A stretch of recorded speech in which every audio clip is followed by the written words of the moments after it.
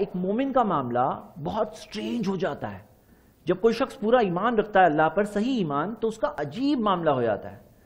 और हदीस क्या है? सही मुस्लिम में हदीस है, प्यारे नबी मोहम्मद सल्लल्लाहु अलैहि वसल्लम ने फरमाया अजबल्ली अमरिल मोमिन। मोमिन का मामला कितना अजीब है।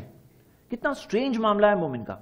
इन अमरहू कुल्लहू खैर। हर हाल में उसके लिए खैर है। मोमिन ईमान वाला, जो अल्लाह पर ईमान है, आखिरत पर ईमान है, मोहम्मद सासम पर ईमान है, उसका अजीब मामला हो जाता है।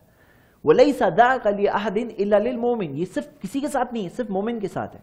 ऐसा सिर्फ़ मोमिन के साथ है, इन असाबत हुसर्रा अगर खुशी आती है शकर फकाना खैर अल्लाह शुक्र करता है अच्छा होता है उसके लिए। खुशी आती है आम लोगों पर तो गुरूर और घमंड में पहुँचते हैं। मोमिन पर जो खुशी आती है तो शकर फकाना खैर अल्लाह वो शुक्र करता है, उसके लिए खुशी भी बुरी नहीं होती है। कितने लोगों के लिए खुशी बुरी हो जाती है? मालूम है आपको? कितने सारे ऐसे लोग हैं जो गुरूर और घमंड और तकबर में पड़े आते हैं क्यों? पैसा इसलिए। क्यों? दुनिया में इज़्ज़त, ताकत वगैरह चीज़ें हैं इसलिए। वही आदमी अगर गरीब होता ना तो शायद ऐसा नहीं होता, लेकिन वो पैसा है, उसके लिए खैर लहू नहीं हुआ, उसके लिए शर्र लहू हो गया। उसके लिए वो पैसा बुरा हो गया। लेकिन मोमिन का मामला क्या होता है?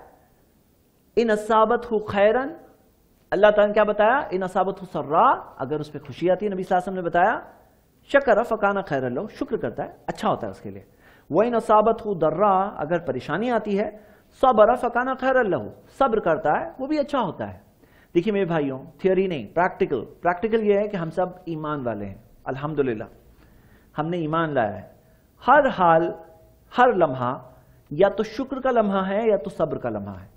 नेमत है तो शुक्र शुक्र शुक्र शुक्र शुक्र चल रही है। परेशानी है तो सब्र सब्र सब्र। और हर हाल में क्या है वो? अच्छा ही है।